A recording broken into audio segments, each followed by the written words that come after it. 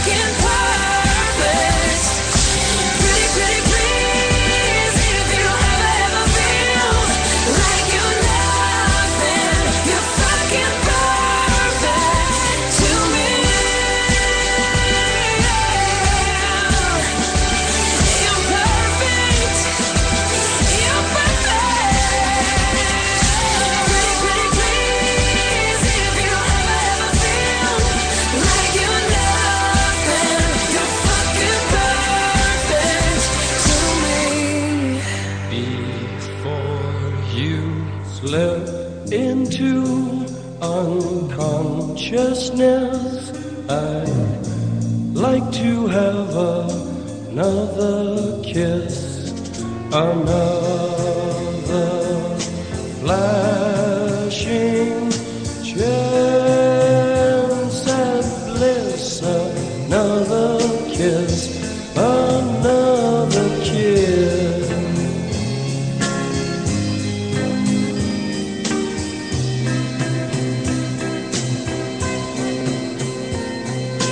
days are bright and filled with pain. Enclose me in your gentle rain. The time.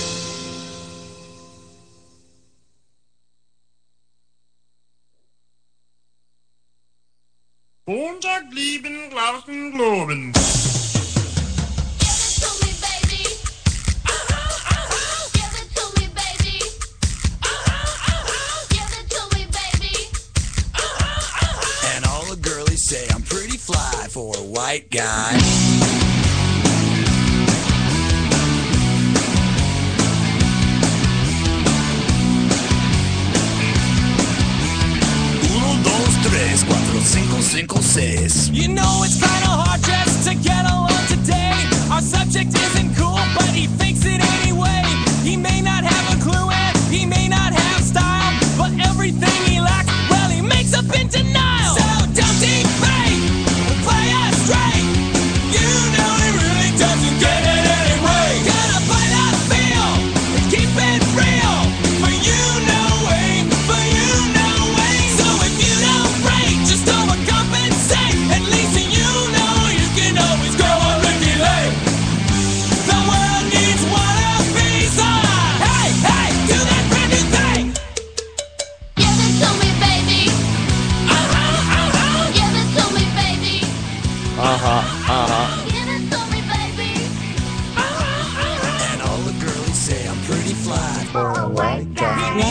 Ya. Cara, habla. ¿Qué onda? Aquí me estoy ya quedando dormida. Me dijo Carmen, la- nuestra querida productora, pues éntrale a esta eh, bebida energizante para que medio te despiertes. Sabe a Centrium. Así. ¿Qué La huele, huele, huele a vitaminas de esas de las que venden en Walmart. A eso huele y sabe. pues, Delicioso. no, no, no. Delicioso. A ustedes les sabe así porque pues lo están combinando de que con, O sea con que el no te da las whisky y todo. Mira, yo estoy tomando. Ay, chingo, mi vaso. No, hombre, que no tome. Bueno, a ver, eh, nos quedamos en Pues cierta historia estabas dándole historia, por ahí. historia de latillos de ah, Robert Johnson de la, de la, Estabas- de la mítica, Estábamos ¿no? viendo el romanticismo que le dan a las cosas, ¿no? Eso es, creo que eso es importante en cualquier, en cualquier ámbito donde estés, tienes que darle cierta magia, cierto. Sí, que, que jale a la, a la gente, ¿no? Que es que si, a, la, si a la gente le gusta soñar, le gusta, ¿me entiendes? O sea, y en base a eso, pues ya le vas creando, mira, este, esto, esto me sucedió y, y vi esta luz y de repente agarré la lira y, y compuse esto. Me llegó el Espíritu Santo. Pero es que ¿por qué le pones... Digo, ¿por qué ponerle tanto misticismo, no? O sea... Vea, Yo de- creo... Una vez escuché una, una entrevista de Insane Clone Pose. ¿Lo han oído? No. Insane Clone Pose es un grupo que... Como carcas y cosas así que es Raptor. Y entonces lo, los Ya, acus- te- te- chicos, chicos, sigan hablando, voy nomás a subirme hielo. Ah, sí, sí, adelante. Ok, Decía que se había suicidado un, un, un gordito estadounidense por culpa de una rola de, de Insane Clone Pose. Ajá. Y decía Como él, AC/DC también. decía él, ¿cómo me haces caso si soy un gordo idiota que no sé ni lo que digo, no? Pero hay quien se clava tanto Ah, con, claro. con la idea, con la idea de, de lo que está diciendo y las metáforas de su rola, cuando un y uno de rapcore dice puras idioteces, ¿no? O sea, o cosas que le pasan en su día y hace una rola. ¿no? Y hace una rola. Entonces, ¿por qué le pones tanto misticismo a, a que a aquel se le apareció la Virgen y por eso empezó a tocar la canción de Europa? Y, Ah, porque fue a un viaje allá y así le sonó y, y ahora hago esta canción se llama Europa y esta porque me gustaron los ritmos de Cuba y se llama Samba para ti. Samba para ti. pues sí, yo vuelvo a lo mismo, caigo en lo mismo. Me imaginé este, una chava así samba, güey, caminando. Samba para ti. Ándale. Yo creo que cuando quieres vender la idea, la vendes con, con cierto tipo de, de historia, creo. ¿no? Tienes que ponerle una, histo- una historia por ahí para tratar de vender esa, esa, esa, esa idea. Hablando, creo yo. ¿verdad? hablando del, del blues y, y, pues hasta lo donde hemos dado ahorita, tienes buenos conocimientos que, que me agrada saber de, de raza que, que sigue. A mí me, me explicaban, digo, dentro de las cosillas que me daba mi maestro de música, me decía, no, es que mira, la música de, de, blues y todo está en séptimos. Y yo, a ver, ¿pero ¿cómo que en séptimos? No, pues mira, son eso así. Y los acordes te vas dando cuenta que tienen ciertos colores, ciertos matices. Y escuchas un tono séptimo, güey. Y, güey, trae todo el sentimiento. Es muy dominante, para Sí. eso se le llama, ¿verdad? Sí, muy la dominante. séptima ¿no? dominante. Y tú, güey, todas las canciones con séptimos y de chingada. Como la música a veces ni siquiera necesitas cantarla, güey. O sea, ni siquiera una letra, güey. Sin interpretar la, la melodía y darle ese sentimiento, güey. Que era lo que hacía esta gente de, pues, de, de todo el Los sur de. Estados Unidos y toda la, Claro. el suroeste. A todo veces pasaban toda la rola en un solo acorde, así de plano. Sí. Y- O en un y decías, circulito de acordes y pues, el otro empezaba a improvisar, ¿no? Ándale. Pues es que te basabas, la, la clásica era la, re, mi. Mm. De ahí, güey. A veces hasta ni siquiera sabían lo que estaban tocando, mal le estaban dando. O sea, es en serio, o sea. De hecho, por eso el jazz es improvisar, ¿no? O sea, Ajá, o sea, exactamente. eh, una vez un, un tipo mató el gallo cuando dijo, eh, güey, no le atinaste a ningún acorde. Dice, no, es que yo toco como jazzista en complementario. Tú estás tocando en re, yo estoy tocando en Ajustados, sol. ajustados a lo que va. Bueno, No, pero fue, fue una época muy, muy hermosa para la música. Esa época transformó, y le damos gracias a toda esa gente que, que se atrevió Y, y esto me refiero con, con George, que está aquí con nosotros. Eso es, George, George. ¿sabes qué puse, güey? ¿Sabes qué puse? ¿Qué? George. Cardona Sí, seis, en el güey. 4 dos veces. dos veces. George Corona, no. Y lo digo por, por el comentario que te pasaron hace rato, güey, de este, ah, una chica mota que me pasó que me pidió que le mandara un saludo por aquí ahorita. Y No, me acuerdo, es. amiga, en serio, ya ando demasiado alcoholizado y no me acuerdo tu primer nombre. ya se acabó la rola. No me acuerdo tu primer nombre, pero recuerdo que, me, que era Mota. Entonces le quiero mandar un saludo porque nos estaba escuchando en el, en el bloque anterior.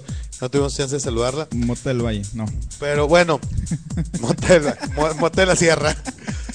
Y, y a lo que, bueno, a lo que iba era, George, te estaban diciendo de que, pues es que tú no inventaste el género. Nunca lo dije. Nunca lo dijiste. Y escuchen el 4 o el 4, si cualquiera de los dos, él debe venir. Pero te atreves a hacer algo que mucha razón, yo me incluyo, no me atrevería a hacer, güey. O quieren, pero como. Quieren, dicen- pero Dicen, no, voy a estudiar. Pero por lo a estudiar". mismo te das cuenta que tengo que hacer un proyecto en solitario porque eh, eh, digo tengo conozco un sinfín de, de músicos digo incluyéndolos a ustedes gracias. eh, y un sinfín de músicos y todos traemos una idea bien diferente ¿no? Entonces el, el mejor de one man band o sea es decir de hacer tu misma banda tú solo a veces te nadie te capea lo que quieres hacer y lo primero es que te critican, ¿no? Como mi compadre me dijo, ah, eso de las secuencias, o sea. yo no estoy en contra de, de nada. Yo creo que, eh, digo, como decías, hay quien con tres acordes ha hecho un rolo, ¿no? no Ah, claro, sí. Knocking on Heaven's Door. Sí, o sea, no tiene, no tiene por qué ser tan rebuscado, pero lo más importante de todo es ponerle tu sello, ¿no? Tu sello, sí. Ah, de hecho, la que- productora está presente, la, la chica del Far West. Esas son las del far. Y eso que no pusiste las otras dos. Quiero, quiero comentarte que lo, lo más importante, a mí me gustaría un día que me escuchara un, un tipo sin género también. O sea, alguien que dice, yo oigo lo que sea. Que no y oiga viciado. una canción que yo cante, toque, mezcle, se pare y le dedique dos segundos de su vida y ya con eso ya lo libre. Ya, ya, ya la logré, ya, ya hice, ya hice mi día. Porque es muy difícil atraer la atención de alguien. Es muy difícil y tú lo puedes saber porque te aseguro que has tocado en algún lugar y también te ha pasado lo mismo que yo que, que ves gente bostezando y en otras tocadas ves gente alabándote y diciéndote que, que eres del Wanna Wanna, ¿no? Y en otros estás forever alone, ¿no? Yo, yo, Entonces, yo pienso que mm, no se debe de esperar ningún tipo de ni, ni, ni de alabanza ni de Ah, no, no, ni- no. pero nada Pero más qué- es hacer lo tuyo Pero qué aventarlo. resultado tendría, por ejemplo, estar haciendo este programa de radio sin todos, por ejemplo, mis amigos que me están escuchando ahorita, no llegarle a nadie, o sea, Mm. yo creo que el, la- el propósito de la música es eso, Ah, ¿no? claro, o sí, sea, claro. llegarle a alguien. Y si alguien, una persona ya te dijo y lo que haces está bien, o si me gustó, ya, ya. Inclusive, güey, si el vato llega y te dice, lo que hiciste está de la verga, güey. ya te escuchó. Ya te escuchó, güey. Se tomó el tiempo para escucharte. Y ese, aunque sea un comentario malo, güey, entre comillas, una crítica. Para mí no existe crítica constructiva ni destructiva. Una crítica es una crítica, se chingó. Pero si llega y te dice, ¿sabes qué no me gustó? Bueno, yo como músico necesito pensar que hice mal. No decir, este vato no sabe de música, no sabe lo que está hablando. Yo soy músico, él no. Bueno, ok, voy a escuchar la canción, voy a analizarla. Y a lo mejor tenemos razón. El vato no sabe de música y nada más se puso a hablar porque sí. O a lo mejor el vato sí tiene muy buen background. Yo y creo tiene que con qué agarrarse. desgraciadamente quien, quien te evalúa es la gente que no sabe. Por lo mismo tienes que hacer algo diferente. O sea, Coda imitaba a Bon Jovi y Así se este. Golding Así se invi- empieza. imitaba a, bueno ya imitó a- al imitador, ¿no? Entonces, todo es así si tú haces algo diferente, es posible que llame la atención. Si tú Sí. haces lo mismo que todos, te van a decir, ah, mira, es, es este, Sil- a. Silverchair quiere imitar a, a Kurt Cobain. Y cosas así. Digo, entonces tal vez te ganes el agrado de cierto grupo de gente, pero lo difícil es hacer tu propia gente.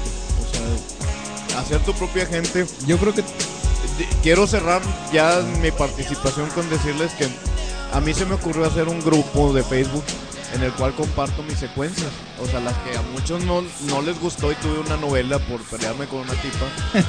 y a muchos otros muy buena esa novela. Pero a mí me da un gusto enorme entrar y decir, tengo 500 gentes en tres días. O sea, tres... 500 gentes en tres días son 500 gentes que, que les caigo bien, que, que nomás le dieron a aceptar, que lo que quieras. Pero tengo 500 gentes. O sea, 500 gentes al menos me conocen. O sea, Pero también menciona que el maestro pequeño te, te dio una alabanza que qué bárbaro y yo ya hasta la quisiera yo también, hombre, no manches. no sé si conozcas tú a, a Daniel Pequeño. es Maestro tipo- Daniel. Es Qué un bárbaro.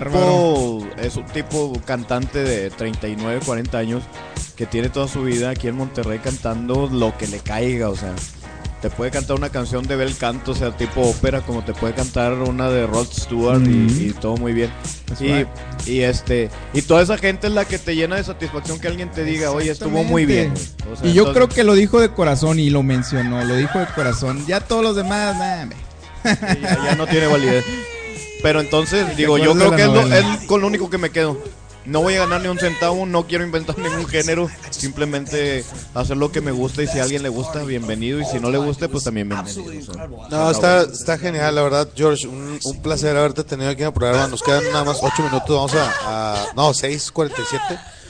Vamos a cerrar ahorita ya el, el programa. Mm, Llegamos que a 6. ¿Fueron que entonces cuántas en total? ¿Tres horas de programa? Tres horas. Sí, la verdad. Todavía no, todavía no rompemos el récord, ¿verdad? Tuvimos un récord de 4 horas y media de programa y ese sí fue. ¿De qué hablaron? güey, ¿Cuánta caótico, gente güey. había, no? No, hombre, güey, digo, era nomás un invitado, güey, pero es que había muchas botellas de por medio, entonces tenemos que darles crán a todas. Pero, no, la verdad, George, muchas gracias por, por haber contestado ese, ese post que, que coloqué el día de ayer. Yo espero que no sea la última. No va a ser la última, carnal. Créeme que por nosotros, mándanos tus rolas y nosotros le vamos a estar poniendo al aire, güey, aquí en el, Tengo en el canal. una que quiero adelantarle, no sé si conozcan a un tipo que se llama Morinito de Fuego. A él No. lo, cono- lo conocí con, con el DJ de Control Machete, Toy Selecta. Él y yo colaboramos en una canción de Sonidero Nacional y él también me decía que si había oportunidad de mostrar su material que está a punto de salir y pues me gustaría, si, si lo pueden recibir estaría genial. Un carnal mío. No, con todo Fuego. gusto. Eh, ahorita pues vamos a vamos a, a- a cerrar contigo, güey. Absalón, si puedes venir la próxima semana Claro, claro que sí. y te damos eh, igual, frente tus rolas y las ponemos aquí al aire. Ya, ya y estás. este, y pues le damos entonces, este, ¿qué más me queda decir? Bueno, pues nada más. Pues de esos cinco minutos quiero cerrar con, con una situación que tuve. Yo dije que iba a quemar a este güey y lo voy a quemar al aire también. Puros quemadas. Siempre, güey. si Este Puras programa se basa en eso, en quemar raza. Deja todo el contenido, güey. Se trata de quemar raza, güey. Ay. Un, un camarada, güey.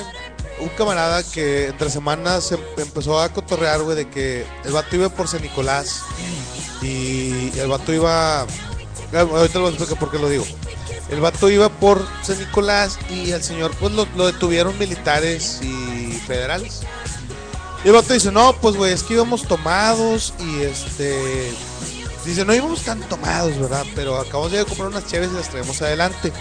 Y pues nos detuvieron y los militares, no mames, es que cómo se han corrompido y que no sé qué. Y nos pidieron dinero y la chingada. Y pues les tuvimos que dar. A ver, a ver, espérame, tiempo, tiempo, tiempo, tiempo. Tú ibas con aliento alcohólico. No digas que ellos se corrompieron, güey. En el momento que tú les ofreciste dinero, güey, tú los estás corrompiendo. En el momento que le dices, bueno, ¿cómo nos arreglamos? Ya desde. Ya desde ahí ya la cagaste, güey. No le eches la culpa a ellos, güey, porque tú estás ofreciendo el dinero. X, no me quiero meter en broncas de. Es que legales y la chingada. X, güey. El vato le caga, güey, porque le pregunto, bueno, güey, ¿dónde llevas las cheves? Ah, pues las llevaba adelante. Vato, pues la estás cagando, güey. El momento de llevarlas ahí. ¿A qué voy con esto? Si el vato hizo algo ilegal o no lo hizo, X, puso pedo y él decide si lo hace o no lo hace. afecta a todos y nos afecta a todos. Ah, porque claro. después el próximo cabrón que nos pare va a decir, ya le saqué dinero a Nara Villarreal en Facebook. Ya le saqué dinero a este güey, lo puedo sacar a otro cabrón. Y vas a llegar tú por, por atrás y también te van a sacar a ti dinero. X. Este programa, señores, se llama Con Alcohol en Cabina. Una cosa muy responsable que se me hizo de, de George y de Absalon es que me dijeron, es que nosotros nos vinimos en taxi y nos vinimos en metro. No traemos ¿Por qué? Porque nos dijeron que iba a haber pista en el programa, entonces no queríamos correr riesgo. Aquí no, pro- no promovemos que tomen, pero si hay alcohol de por medio. Pero si toman, pues Si de toman- ser responsable, ¿no? Si toman, sí, ser responsables. No me veas feo, por favor. Pero sí ser un poquito más responsables y me dio mucho gusto que hayan tomado esa decisión de venir ustedes este, No, pues en otro, en otro tipo de transporte. Y pues bueno, ya me quedan tres minutos. ¿Qué les puedo decir? Nada más recuerden el Paddy Ay, güey, dije que iba a regalar las pulseras y nunca dije cómo. Ok, muy bien. Hay una canción que pusimos de George que la pusimos de fondo. George me va a mandar el inbox. Si a ti te la contestan, carnal, tu raza, güey. Yo con todo gusto. Son para este miércoles en el Pure Live, en el Paddy Murphy's, Calzada San Pedro, Infleteros, ahí en la colonia Mirevalle, número 107. Esas pulseras les da acceso al área de cerveza gratis a partir de las 9 el miércoles. Únicamente este miércoles. Entonces llegan ustedes ahí y les dicen a partir de las 9 tú agarras toda la cheve que quieras. El primer güey que diga quiero Voy al miar, baño. se acaba la promoción. Entonces tengo dos pulseras para el que las quiera ingenioso. adquirir. Que las aguante, ¿no? Sí. Ah, bueno, y le voy a- la, la manera va a ser así. Me mandan el inbox a The ISN Show o me lo mandan a Oscar Knox o se lo mandan a George y que diga el nombre de una de las canciones que pusimos de, de Mezcladas George. o cantadas. Mezcladas, sí. Que me diga, es que George traía esta canción en una de las mezclas que puso. Si me dicen qué canción fue, yo le pregunto a George, eh, ¿pusiste esta? Va a decir, sí, sí, esa fue la que pusimos. Automáticamente se las damos. Te, les digo, tenemos hasta el miércoles. Porque el miércoles es el día del evento. Y ya yo les doy eh, la dirección de donde pueden recoger las pulseras y con todo gusto. Órale. Yo me acuerdo Bueno, de una. ¿La puedo decir? no, tú, tú no participas. no vale, no participa. Este, Absalom, entonces el próximo sábado. Ok, pues, ah, claro. Ya está. A partir de las 9, hoy empezamos a las 9.20, pero le dimos un buen rato. Entonces no hay ningún problema, señores. Ya saben que el programa. Y falta el after. Y falta el after. A su madre, chevato Oye, me con traigo carrera. lire, me traigo todo. Y ah, Tráete y todo, güey. y No, mira, tráete una lira, güey. Yo te pongo dos micros y tú cantas aquí, güey. Pero no canta, toca. Ah, no, también canta. ¿no? También. También, también. Bueno, ya está. Señores, mi nombre es Oscar Knox en Facebook. Eh, quedaste también, George. Eh, pásale los contactos a tu raza, güey. Si quieren venir al programa, Órale. si lo están escuchando, el programa está abierto. Nada más para agendarnos con, con tiempo. Sea el género que sea. Sea el género que sea, aquí no hay ningún problema. Yo quiero que toda la raza de Monterrey exponga y tenga un lugar para que se quiten esa mamada de que es que no hay lugares donde exponer. Vámonos. Y yo sigo Ok. esperando mi. Ok. La, la que te puse en el Facebook. ¿La qué, güey? Ya es el show con el gol en cabina. Buenas noches. Buenos días ya.